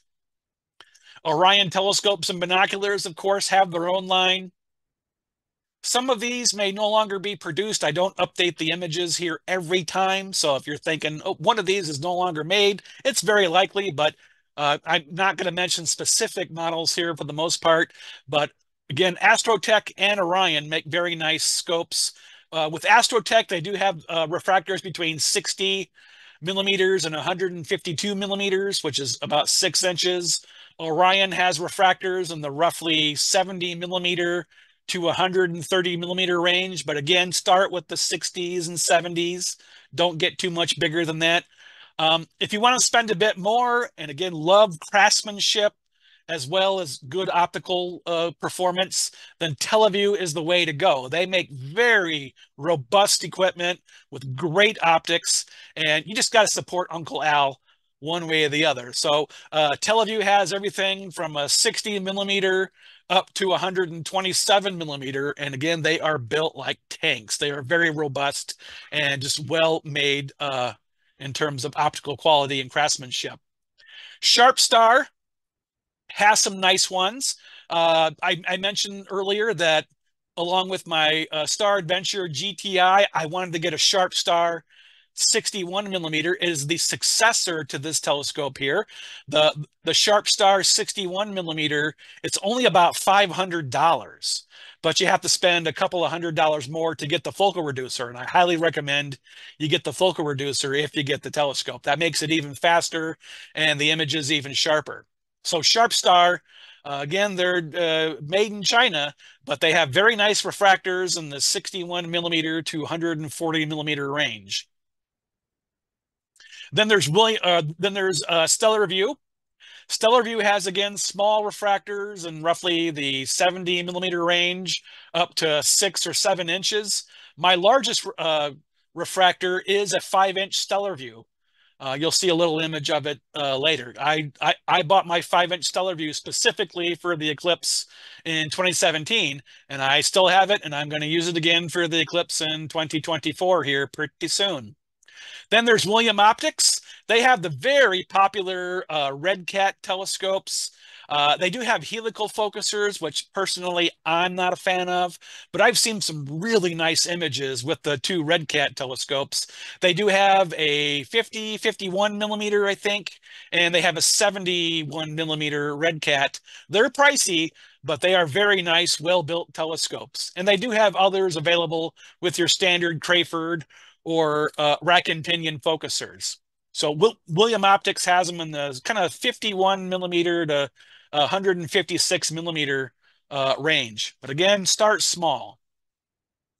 So here's one of my images again. I don't share too many, but I like this one. So here we have the Lagoon Nebula on the left and the Trifid Nebula on the right. North is at the uh, right here. I tilt it so I can make the image here a little bit bigger. This was taken at the 2016, yeah, the 2016 Texas Star Party. This is with my modified Canon 600D T3i. With my old uh, uh, TMB, my Thomas M. Back 92 millimeter SS refractor. I had to sell that refractor to get my Stellarvue. I wish I didn't have to do it. I regret it because uh, this TMB 92 gave the most perfect star test I have ever seen. My God, were the optics good on that thing. They still are. Uh, a member owns it, and one of these days I'm going to try to buy it back from them. He better sell it to me at a discount too. and so uh, that scope was on my Astro-Physics Mach 1 GTO. Uh, very nice German equatorial mount. I finally gave up with the Meade Celestron variety and went uh, something where I didn't waste too much time under the stars. Uh, so the Mach 1's been very nice to me. I've never lost an image with the Mach 1 through guiding errors or whatever. So you can see uh, the Lagoon Nebula is very dynamic in its brightness range. So I took a whole series of images to help bring that out under the dark skies of the Texas Star Party. And it's only 51 minutes total. I could have easily, you know, you could easily do a couple hours to really make this thing come out. But, you know, under those dark Texas skies, it really pops. Here's one from Pete Mumbauer. This is the Andromeda Galaxy M31. This was taken with the CCD, which again, they are on their way out. CCDs are being replaced with CMOS cameras. Uh, their main advantage is they are cheaper. Uh, but because a lot more effort has been put into CMOS technology, because that's what they use in DSLRs, DSLMs, uh, the, the noise re uh, reduction is a lot better. Uh, the noise level of CMOS cameras today is a lot better than CCD cameras. Um, if they kept developing CCD technology, they would probably catch up, but uh, because CMOSs are cheaper to make, they've been abandoned. So this is taken with one of those sharp stars, the previous version. Uh, but when Pete purchased this, the optics weren't perfect and the company knew it. So they sent him a new optical um, section of the telescope. So it's basically the, the latest version uh, that they sent him for free. And so, of course, he used the uh, 8, uh, 0.8x uh, field flattener focal reducer on his uh, Astro-Physics 1100. So um, I'm very certain the uh, scope was writing piggyback on his larger Newtonian because uh, sure, you could put the sharp star on the astrophysics, but boy, that would be hard to balance. So you can see the Andromeda Galaxy has a very vast array of brightnesses. So just a whole bunch of exposures to really help bring that out. Some people are saying the CMOS cameras are getting so good and so sensitive, you don't even need the luminance uh, exposure anymore. A lot of people are just starting to do RGB and not luminance anymore. So that does save you a little bit of time. Just take a bunch of color. So yeah, th this is a staggering 14 hours and 10 minutes. So you can get really dedicated in these projects. Here's one from another member, uh, our, our, our father-son duo, uh, Dave and Matt Garden. This is the Elephant Trunk Nebula. Uh, Dave, who is mainly taking the images these days, Matt has to work too much, unfortunately. Um, he mainly focuses in the narrowband region because he does a lot of his imaging from a light polluted Portage, Michigan, and so if you focus in the narrowband region from light polluted areas, it, it, it does uh, make it easier to take images like this. But he does have some dark skies up in the Huron-Manistee National Forest as well. So this is with his full frame ZWO ASI 6200 mm, a monochrome camera. And Dave has a Takahashi FSQ 106 EDX3. We also have a, a, similar Takahashi, in fact, the exact same Takahashi camera on our remote telescope, but Dave's has the flattest field of any refractor I have ever seen. Our Takahashi, not so much. We currently had to send it in uh, to get some work done on it. So hopefully the image performance is a lot better because some Takahashis aren't quite up to snuff sometimes. So let that be a forewarning for you. If, if you do try to go big and buy a Takahashi refractor, try to check it right away. And, if you don't like the collimation, send it back. So Dave has an old school G11, and you can see he did use those narrowband filters, hydrogen alpha, oxygen 3, sulfur 2, and this is 4.5 hours of the Elephant Trunk Nebula. That's probably Dave's best shot to date. So if you do want to have a little more aperture, but still something fairly portable, you can get yourself a Newtonian reflector. So uh, Astrotech has a series of these. I have the 8-inch f4 Astrotech. Uh, the Crayford focuser is basically junk. um, I upgraded that pretty quick to a manual moonlight focuser, but unfortunately, you can't get the manual moonlight focusers anymore. Uh, you have to get just the motorized ones. So I'm glad I got my moonlight when I did. Although the motorized are very nice. And, and one of these days, I might replace the aluminum tube with a carbon fiber tube. Uh, but they do have carbon fiber truss designs as well. They are a little more expensive. Uh, most are a little bigger, but Astrotech has these uh, scopes in the 6 to 12 inch range. Um, so here's the little 6 inch. So that's, you know, it's very light. Um, and, and, and, that could be supported on a small German equatorial mount. I don't think a Star Tracker uh, could handle this. It's probably pushing the limit of, of the weight capacity of those little things. Then Orion does have some. They're very similar to the Astrotech ones. They're probably often made in the same place, uh, but Orion has them in the six to 10 inch range as well. Again, these may not be, be some of the current line that they have, but they do have uh, some nice Newtonians in the six to 10 inch range. Uh, Sharp Star, that not only do they make uh, nice refractors, they have uh, nice carbon fiber um, tube Newtonians that are very fast. They have 130 millimeter, that's an f2.8. They have 150 millimeter, that's f2.8, and they have a 200 millimeter, that's an f3.8. Uh, so because they are carbon fiber, they have and they have very nice uh, rack and pinion focusers. They probably are, you know, more expensive than the Orions or the Astrotechs, but they are good quality. Even though they do come from China, they're they're making pretty good stuff in terms of telescopes and um, cameras. Just don't buy any Eclipse glasses from China because remember those were garbage in 2017. So then there's also Vixen. I think their line's getting more limited, uh, but this is a classic that was very popular back in the day and it's still good today. Uh, this is the R200SS 8-inch f4. Um, if you do look for Vixen's current line of telescopes, just a quick warning, uh, when you go to Google or whatever, make sure you type in Vixen telescopes. Don't just type in Vixen because boy, will you will will you get an eyeful. so just be careful there. Uh, so here's an image with my Astrotech 8-inch f4. This is at the uh, 2010 Okie-Tex Star Party when the double cluster had a visitor, Comet Hartley 2. This was hard to process because, uh, of course, the comet is moving during this series of exposures here, only over 15 minutes, but I used uh, Deep Sky Stacker's Comet mode so it does some special pro processing separate for the deep sky object and the comet.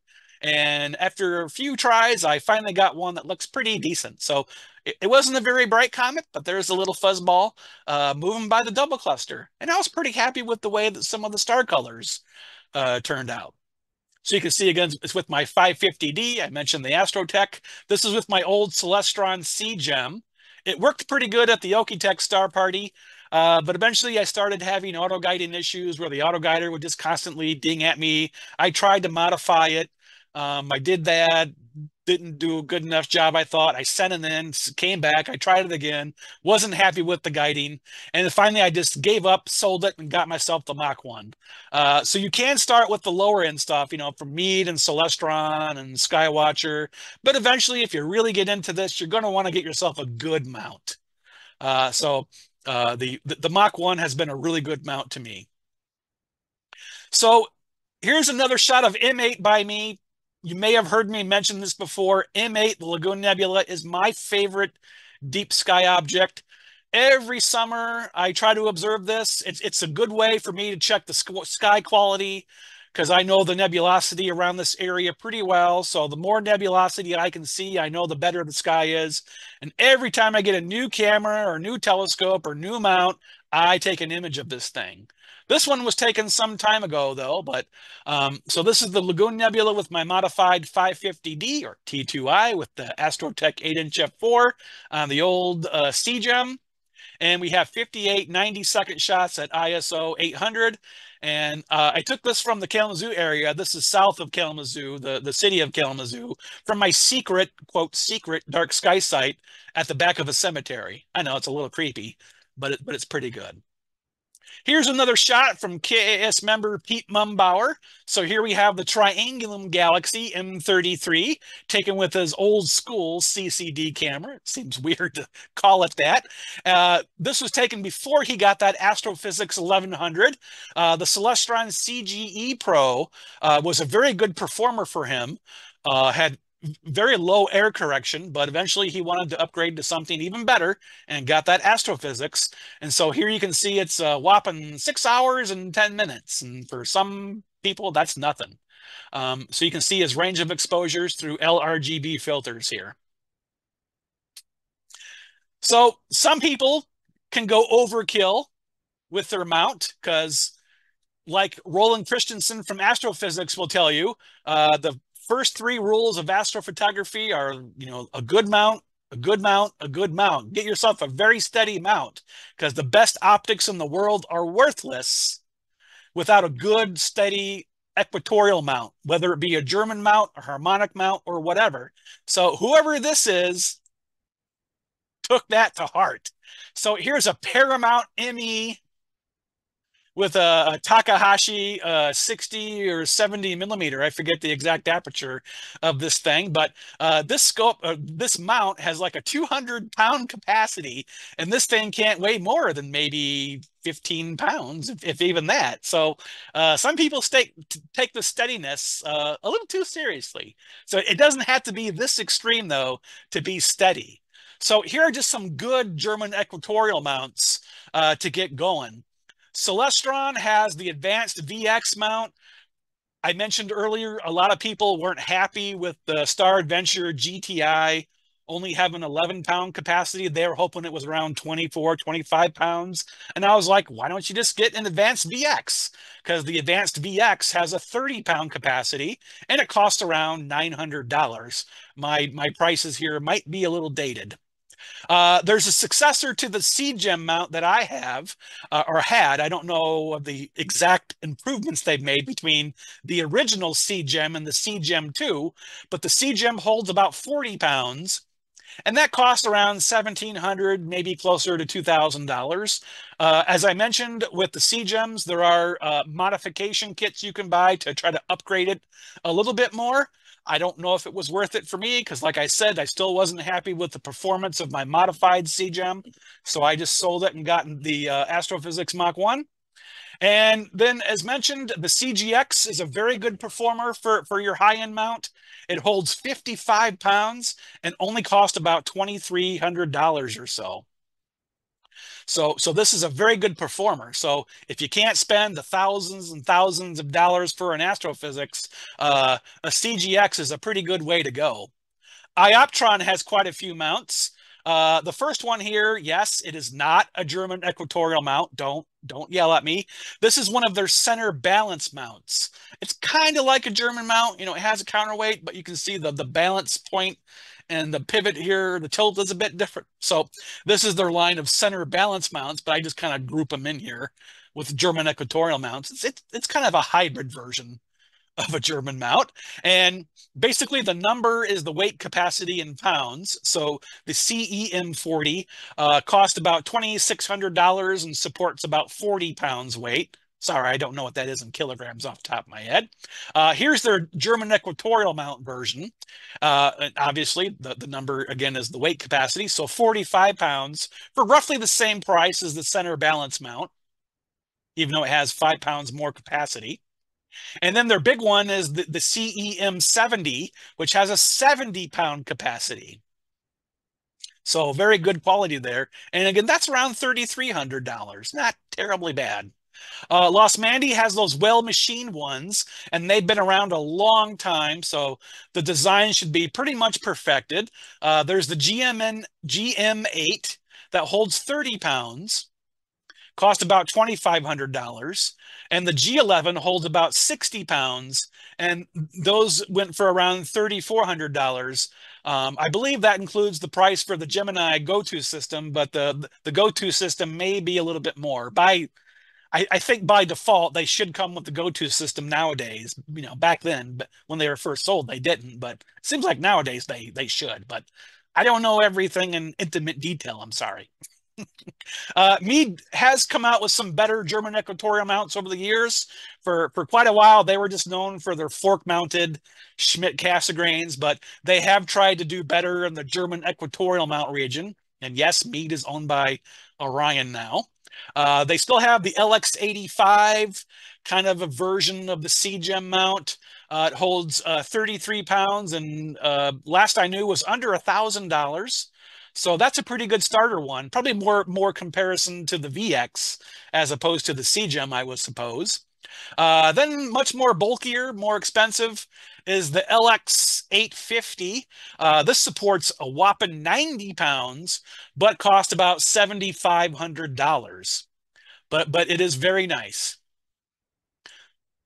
Orion has changed their mounts a bit over the years. Uh, they might not exactly have the Skyview Pro anymore, I don't think, uh, but you can probably still find these on the used market.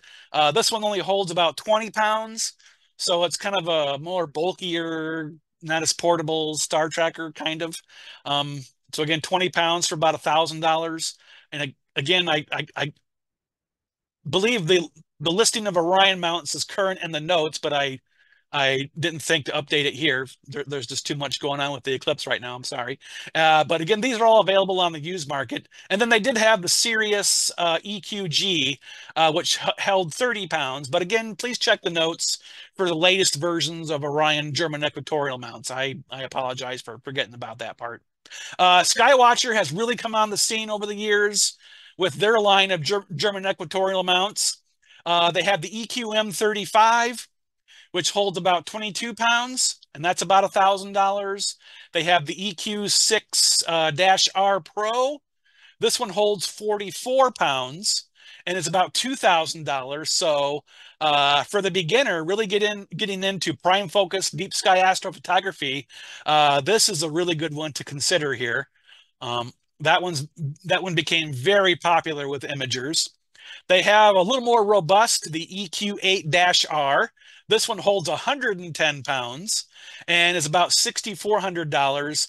And they also have the EQ8 uh, RH, which has absolute encoders. So absolute encoders uh, really help improve the tracking of the mount. So you can do up to 10 minute unguided exposures, assuming your, your, your polar alignment is really good. But this cost about $10,500. But for a mount with absolute encoders, that's a really good price. So with polar alignment, you can buy a polar alignment scope, uh, but now uh, QHY CCD has this cool device called a PoleMaster. So it can be adapted to pretty much any type of mount. Um, they have a wide variety of adapters. That's what the little picture up here is supposed to show. Uh, so even if it doesn't necessarily thread into your uh, uh, polar scope opening there, uh, th there are adapters you can get to make it adaptable. So the uh, PoleMaster has a field of view of 11 by 8 degrees, has a resolution of 30 arc seconds of the North Celestial Pole. Uh, it has a rough precision of about 5 arc minutes, which is pretty good. Um, it has three M3 screws to attach the mount adapter, again sold separately. Uh, it measures about 40 millimeters by 50.7 millimeters. Uh, has very low power consumption, doesn't weigh anything, and of course, because it's really on the mount, it doesn't really add to your mount's weight capacity. But even even if it does to a small degree, it only weighs like a quarter of a pound. So with the software that you download uh, separately, it basically guides you of where to put Polaris to get a really accurate polar alignment. So even with high-end mounts, uh, you can use the uh, PoleMaster uh, as opposed to using a more traditional polar alignment scope that some mounts come with and some you have to buy separately. So I mentioned eventually I, I gave up with the Meade Celestron mounts and got myself an astrophysics. Mine isn't shown here because it's now been supplanted. Uh, the Mach 1 is now the old version. Now they have the Mach 2 from astrophysics. So from astrophysics, you have the Mach 2, you have the uh, 1100 GTO and the 1600 GTO. Uh, the 1600 holds about 220 pounds. I think the 1100 is, oh, I don't remember exactly, probably around, I don't know, 150 pounds or so. Uh, the Mach 1's probably around 40 pounds. And then uh, Paramount has several. They have three. I only show two here. Uh, so so they do have the whole Paramount line. There's the the Paramount uh, MyT, you know, capital M, lowercase y, capital T, MyT. Get it? Very very clever. Uh, there's the Paramount MX and the Paramount ME2. We use the Paramount ME2 on the remote telescope in Arizona. Uh, 10 micron makes some very good German equatorial mounts, very high quality. And ASI has some very good mounts too. Uh, I believe the ASIs are Italian, but the 10 microns, the Paramounts, and the Astrophysics, they are all American made. No, I'm sorry, 10 micron is uh, uh Italian as well. I think these are the Italian mounts. On the left side here are the American made mounts. no, ASI is Austrian. So Austrian, Italian, American. There you go. So we have a 1600 mount in our observatory here at the Kalamazoo Nature Center. So here is inside Owl Observatory, owned by the Kalamazoo Astronomical Society. And on top of our 1600 mount, we have a, a Meade 16-inch uh, Schmidt Cassegrain. You can see we have a starlight focuser on the back because the, the regular focuser has too much image shift, as they all do, with a TeleVue 101 writing piggyback. So if you are a member of the Kalamazoo Astronomical Society and live in the area, uh, you can take the uh, short training session and you can use this setup. The skies at the Nature Center aren't the best, but uh, you can do some decent imaging out there. So here are some other necessary accessories that you might need to do deep sky prime focus astrophotography. Uh, if you do live in a pretty light polluted area, you can do processing. You know, if you get really good at processing, you can basically uh, almost put a handle on light pollution between doing kind of short exposures and processing. You don't necessarily need filters, but uh, these kind of dual band, multi band, quad band filters that have come, come on the scene in recent years have really helped people uh, do some nice imaging from very light polluted skies. It began with OPT's triad filters, uh, but now OTP has gone out of business. Uh, that's Oceanside Photo and Telescope. No one apparently has bought the triad line, and frankly, they were grossly overpriced for what they were. Um, very quickly after the triad filters came out, Optolong released basically filters that had identical performance but cost hundreds of dollars less. So I have the current list of Optolong filters in the notes, but if you're just doing a general uh, imaging of you know, open clusters, reflection nebulae, galaxies. Uh, you can get the uh, original L Pro filter. They even have an L uh, like quad filter that's pretty good for uh, a variety of imaging. More specific for nebulae, there's the L Enhanced, the L Extreme, and the L Ultimate. There's just all kinds of filters from Optolong now. So they're they're very affordable. There's versions that clip into your DSLR or DSLM camera, or just ones you filter on to the your camera adapter, and you can go from there. So they're they're really uh, affordable. I've even heard a story or uh, from a guy that does imaging from his high rise in Toronto, Canada, and he does nice imaging from you know that extremely light polluted area. I hear Toronto is a very nice town, but it's extremely light polluted, as all major cities are. So you're going to want to get yourself some dew prevention. We talked about this more last time, but obviously it's even more important for astrophotography because you don't want to go through the trouble of setting up in the field unless you have an observatory and just get dewed out after an hour. So make sure you do have a good dew prevention system, but uh, you know, see the part four lecture for a little bit more. Uh, these are good for just visual use, but if you do have a Newtonian reflector for astrophotography, you want to get yourself a, a, Cheshire eyepiece and even a laser collimator. Uh, you can always do a star test. Every time I use my Cheshire and laser collimator, I always just do a quick star test before I start taking images. But uh, you, you, you got to make sure your Newtonian is properly collimated uh, it's even more important for astrophotography than it is for visual use. And, and the, the faster the system is, like an F4, especially F2, the really more important uh, this becomes. So again, laser collimator as well. The, the, there are many available. If you have a refractor, or Schmidt Cassegrain especially, you're going to want to get yourself a nice focal reducer slash field flattener. Some don't really need the uh, uh, flattener, so there are just uh, uh, focal reducers, but most are focal reducers slash field flatteners. And so um, for Celestron's Edge HD telescopes, they have dedicated uh, focal reducers for each one. They're actually made by TeleVue. Not many people know that, but the ones that Celestron carry, they're actually manufactured by TeleVue, but but but Celestron sells them. Just a little known fact there. Uh, and so for your more traditional Schmidt Cassegrain, they do have the standard f 6.7 focal reducer. Uh, but hopefully, any refractor you buy we'll, we'll have a dedicated focal reducer. TeleVue does kind of have an all-purpose one, but it, it is best to have a focal reducer specifically designed for uh, the refractor that you get. If you have a Newtonian, especially a fast one, uh, you absolutely want a coma corrector. Um, because remember coma the stars look like little comets on the edge of the field of view. It's uh, more prevalent in faster systems. So you absolutely have to have a coma corrector if you have anything from an f2 to an f4 a little bit slower maybe not so critical but it can help. I've always personally preferred to do guide scopes I've never had any issue. A lot of people uh, uh, say don't do guide scopes because you might get uh, image flexure in the system, which can cause you to lose a guide star. But um, maybe that was part of the problem I had with the CGEM. Uh, but like I said, with my Astrophysics Mach 1, I do a guide scope. I've never lost an image ever. Uh, so I guess it just depends maybe on the mount, but um, Again, I've always preferred a guide scope. It can be just a dedicated refractor or just one you just use for guiding. Uh, many find, finder scopes can be converted to uh, guide scopes.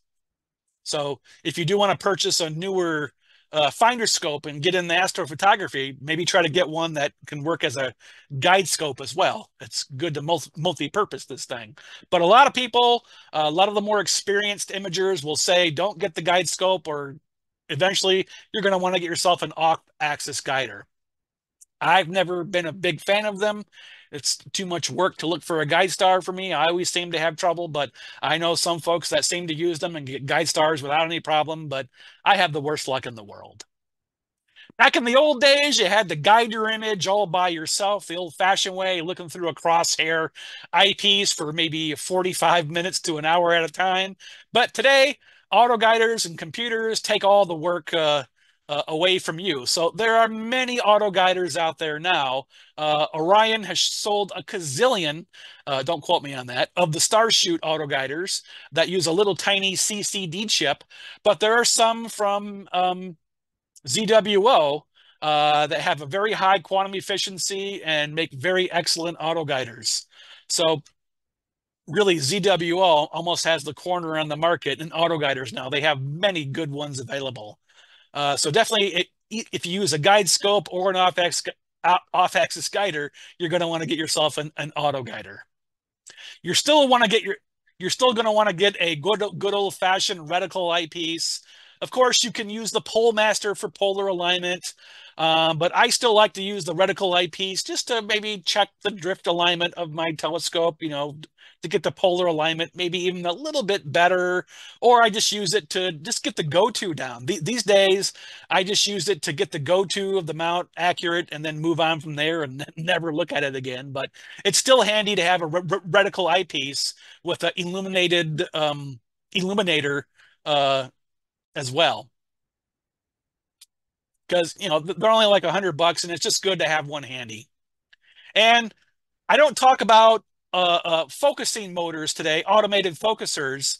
Uh, but if you don't want to spend the money for for a focusing motor yet to automate that for you, uh, I highly recommend a Bahtinov mask. So here's a version here. This is the type for Schmidt Cassegrains.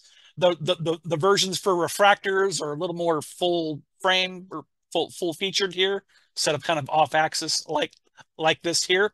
So here's what a Bahtinov mask looks like when you point it at a bright star. You get these uh, diffraction spikes.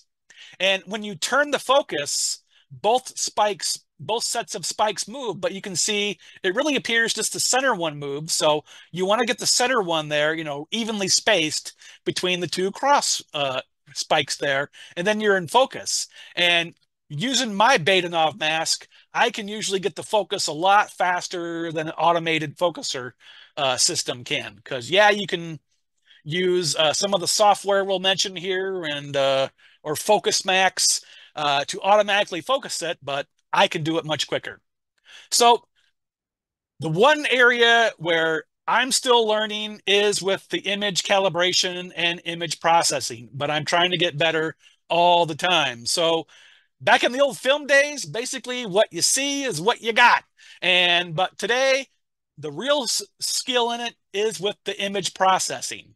So even though CMOS cameras are getting better all the time, you're going to want to take some dark frames. You want to take at least 20 of those. Uh, some people take even more, upwards of 50 dark frames uh, to help subtract what little noise is left from your stacking. With my DSLR, and even with the CMOS camera we have in the observatory here, I usually just use dithering because uh, I really don't have time to make a library of dark frames. Uh, you know, especially you know, with your digital SLR camera, you have to have it at the right temperature because you know you can't really control the temperature of your camera. Um, so I use dithering instead of dark frames, and it's always worked great for me. So what dithering does is between every new exposure, it shifts the image maybe by a few pixels, a little bit to the right, a little bit to the left, and it helps reduce noise without doing dark frames. And, you know, again, because CMOS cameras are getting so low in noise, um, unless I can take a series of library shots for a, a cooled camera, which, you know, takes time, uh, I've always preferred dithering. For DSLR, it's worked great for me. But if you have a cooled camera and have the time, then yeah, you can make a library of dark frames. But with the DSLR, it's not that easy. Bias signal is becoming less and less important. Uh, what bias is, is that basically all digital cameras inherently have a base level of readout noise as it reads the value of each pixel of the sensor. So that is bias. But again, a lot of people are saying CMOS cameras are getting so good, you don't need to take bias images as well. You, you can do away with that. But basically, uh, to subtract the bias signal, uh, you take the shortest image you can with your camera. Usually with like a DSLR, it's like one four thousandths of a second. And no matter how hard you try, you're probably going to get dust on your sensor eventually. Sometimes it can be a pain to clean that off, or you might get what's called vignetting, where the entire field isn't illuminated and you get these dark edges. So dust, vignetting, that can be subtracted out fairly easily with a flat field frame.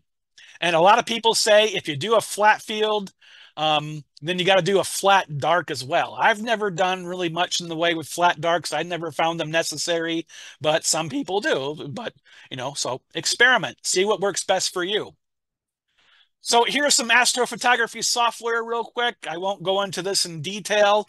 Uh, when I did astrophotography with my DSLR, I used uh, Backyard EOS and found it to be very handy. They also came out with Backyard Nikon to control your Nikon cameras. Maxim DL is getting a little dated. Um, this is what we have to use for the remote telescope out west that we have because we use ACP, the astronomer's control panel, which is required to work with Maxim. Um, the, the one I would really look into if you're looking for a, a, a camera control image acquisition program is NINA, Nighttime Imaging in, in Astronomy, because it is absolutely free. It's open source. Lots of people have contributed to it, and it's a very powerful free program. Sequence Generator Pro um, is the version I have on my laptop here, or the version we have in our observatory. I know a couple other members that have used it. Uh, but the bad thing about Sequence Generator Pro is it's not free and you got to pay the yearly subscription to keep it up to date. And a lot of people hate that. So here is uh, Sequence Generator Pro. Uh, this window here is Sequence Generator Pro. This is Sequence Generator Pro. This is PHD 2 for the auto guiding. And this is uh, dome control.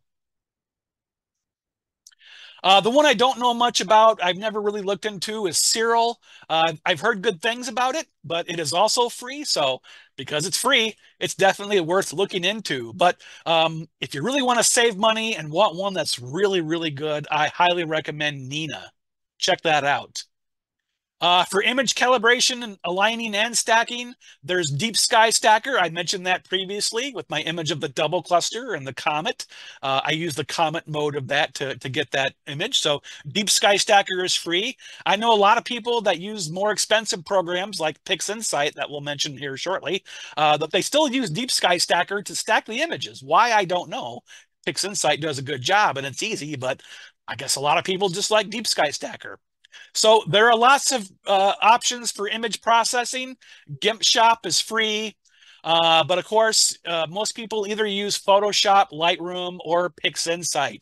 Photoshop, Lightroom, of course, you got to pay the yearly subscription fee, uh, which can add up over time. But given how much newer versions of Photoshop were back before they had the subscription base, uh, it's still really affordable uh, compared to that, but it's still, you know, over a hundred dollars a year for the subscription. PixInsight has a one-time cost of probably around 250 upwards of $300 now. And all the updates that i've gotten over the past few years i've had PixInsight have been free. They i don't think they're ever going to offer a, a, uh, subscription service. I hope they don't.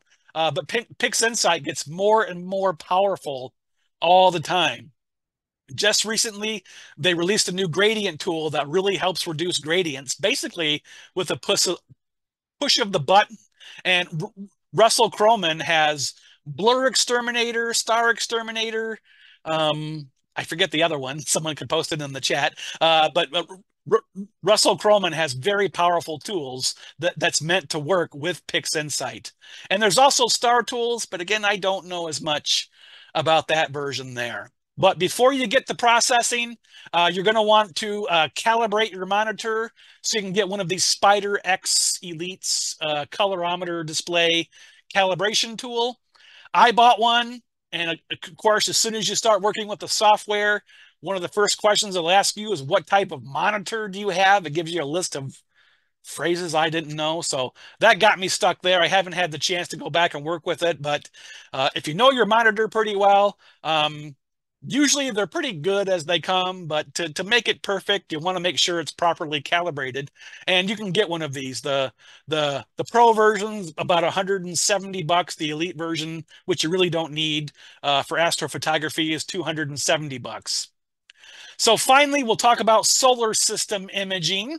In many ways, this can be a little more challenging than deep sky imaging, just because you're at the mercy of the scene. So uh, there are many ways to capture images of the sun, moon, and planets. The classic way is the afocal method. Uh, back in the old days, this meant you just kind of held up your uh, SLR camera with a lens, uh, you know, tried to hold it very steady and uh, take some pictures that way. But now with smartphones, uh, afocal imaging has made a comeback. So Celestron, Orion, TeleVue, they have adapters specifically meant for smartphones where you can adapt it to the eyepiece or the telescope and take very nice shots of the sun and the moon and stuff like that. Uh, you can also do eyepiece projection. This is great for DSLR, DSLM cameras. I know Jerry Lodriguss has taken many good images with a DSLR camera using eyepiece projection. So with a refractor or Newtonian, you put the eyepiece inside a variable projection camera adapter so you, you remove the lens and the uh, eyepiece image is projected into your camera. Uh, for Schmidt Cassegrains, you again put an eyepiece inside the tele extender and that threads onto the back of your Schmidt Cassegrain. For prime focus, uh, again, you need stuff like this. Some of it I, I mentioned already. There's T adapters, T rings, um, and focal reducers. So, so all that I've already mentioned, but you can do that as well for, for capturing the sun and the moon. So you do have thousands of images uh, that you can take, but if you want to take some of the guesswork out of how long you can expose the moon, in your camera. There's this little equation here. I got this from Michael Covington's Astrophotography for the Amateur. Uh, he, he, he did have a more modern version for digital cameras, but the version I have is for old school film cameras. And this should still work for, you know, the more sensitive uh, digital cameras. So you basically have uh, F is the f-stop squared divided by uh, A, the ISO setting, times B, the brightness. And so here are the numbers. Whoops. Here are the numbers you can use for the various phases of the moon. Obviously, uh, the larger the number, the brighter the moon. So, you know, 10 for a thin, dim crescent, 20 for a full moon. But obviously, when you're out taking pictures of the moon, even though a calculation might give you one number, make sure you bracket. So if it tells you to do 1 25th of a second, you know, do images at 1 250th or 1 260th. You know, take some images a little shorter, a little longer based on the current conditions because you never know what it's going to be like. So here's one of my images of the full moon taken with a, a Canon 550D and my old TMB refractor. One two hundredth of a second at ISO 100. I always tend to stay pretty low in ISO with lunar imaging. And so uh, some regions around here are pretty hard to not overexpose, so that one turned out pretty well. Now, for imaging the planets, uh, many people tried doing it with film back in the old days, but they realized just how hard it was. Uh, then we switched over to webcams. I have fond memories of using the old ToUcam because uh, that became very popular uh, to do planetary imaging back in the early 2000s. But now uh, all all the main dealers, all the main manufacturers have dedicated planetary imaging cameras. Canon has the NexImage cameras. Uh, Imaging Source has several to choose from. The Lumenera ones are getting a little dated now. They haven't updated those in years. They're pretty low in resolution, uh, but sometimes for the planets, it's not terribly important. Uh, Player One has the Mars cameras. They have Saturn uh, model cameras and Uranus cameras uh, that are very good. Here are just the Mars M mono cameras, monochrome. So you have to use color filters to get color images of the planets. Uh, but monochrome images are best for solar imaging. Uh, Orion has a line of them. Again, some of these have changed recently, I believe, but Orion did or has the Starshoot line. Uh, Point Grey Flea uh, the, the Point Grey Flea 3 cameras were very popular with some of the more famous planetary imagers. But of course, ZWO, uh, most images you see nowadays are from ZWO cameras because not only do they have cooled uh, astrophoto cameras for deep sky imaging, but they have some very nice planetary imaging cameras too. Some of these have maybe changed recently, but uh, these are some of the really popular ones that have been there over the past few years or so. But again, the, there are many to choose from, just too many to discuss here today. But so just spend some time given ZWO and you might go to them. But uh, the player ones are considered a little higher end. And that's what some of the more serious planetary imagers do. But if you want to start low with, with the cost and have a bit of a more easy learning curve, uh, ZWO is probably the way to go. So here's the crater Plato. A lot of people know Plato because it's filled in with lava there. So the, the floor of the crater is very flat. So this is with the ZWO ASI 174, taken with a 14-inch Schmidt Cassegrain and a 2X Barlow. The moon's pretty bright, so you can get get, get away with that. Uh, so what you do here is you record a video, you know, of basically like a two, three minute video maybe. And during those two, three minutes, you get thousands of images and then you put them into a, a image processing program uh, and stack those. And there's settings that you can uh, play with that automatically pick the sharpest best images that uh, work around the seeing conditions. So uh, the moon is pretty easy to get pretty good shots off of. This one is especially sharp here. But of course you can get lots of great images with the planets. I don't know who took the one of Mars here, but I found this one online. It was taken with a 20 inch Dobsonian and a 5X Powermate to, to give it F19. And so a really good image of Mars through a big Dob. You usually wouldn't associate uh, big Dobs for good planetary imaging scopes like that. But here we have Saturn with the ZWO ASI uh, 183 and a series of Jupiter images with the ASI 290 MC. Again, take a, a short video with, with Jupiter, especially because it rotates so fast. You can't go several minutes, maybe a minute or two. Uh, but there's even uh, programs to help adjust for Jupiter's rotation.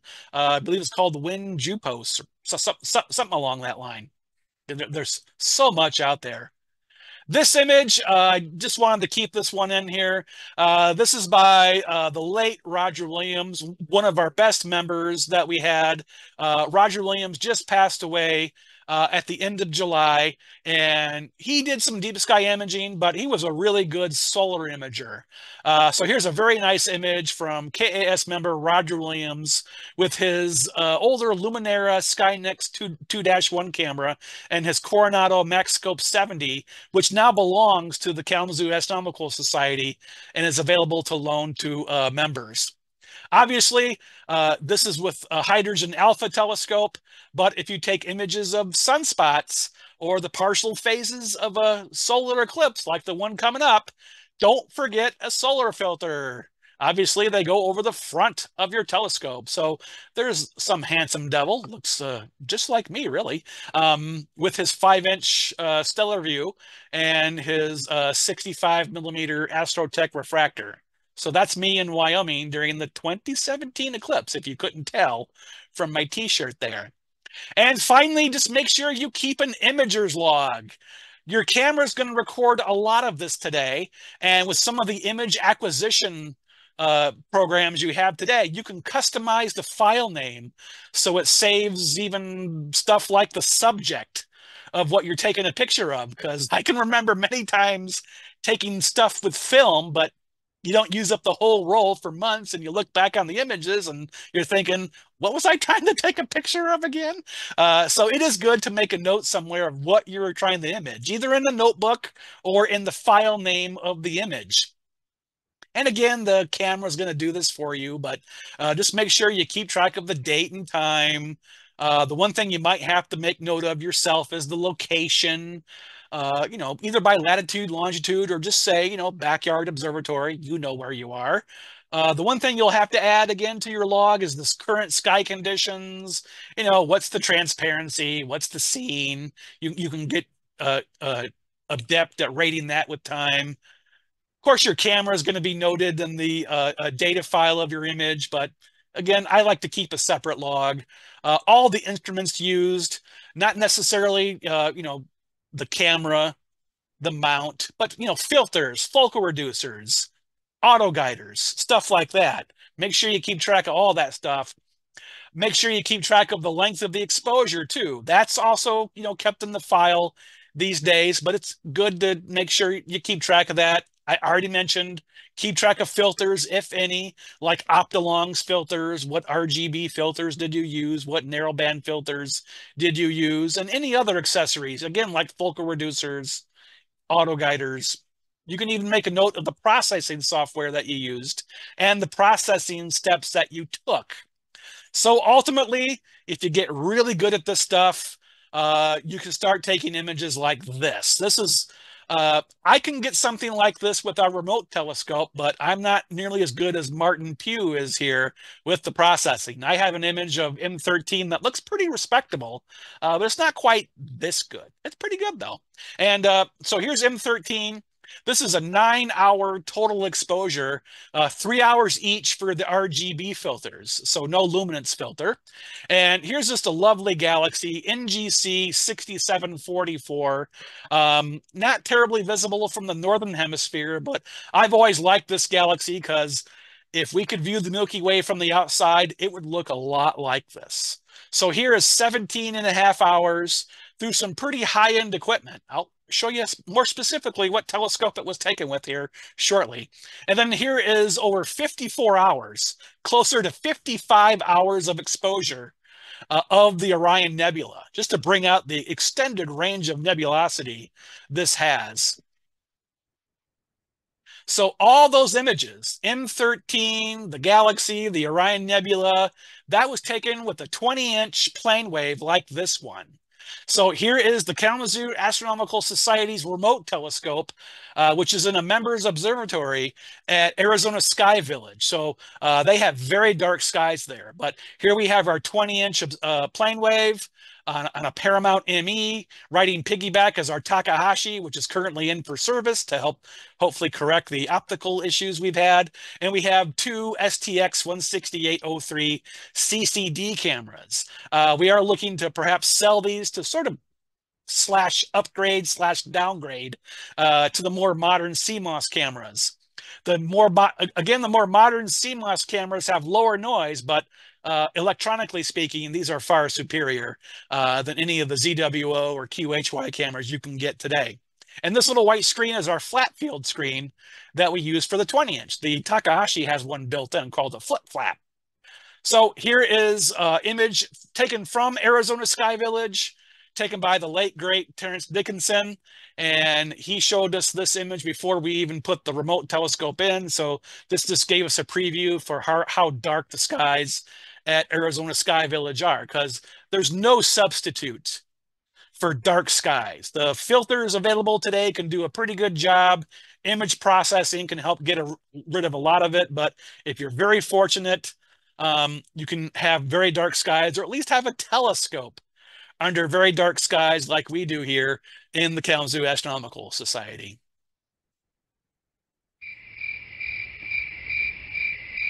So that concludes the five-part introduction to amateur astronomy lecture series. I hope you found it valuable, and I hope it does make you a star-hopping sky master. So I hope to see you under the stars on the next clear night.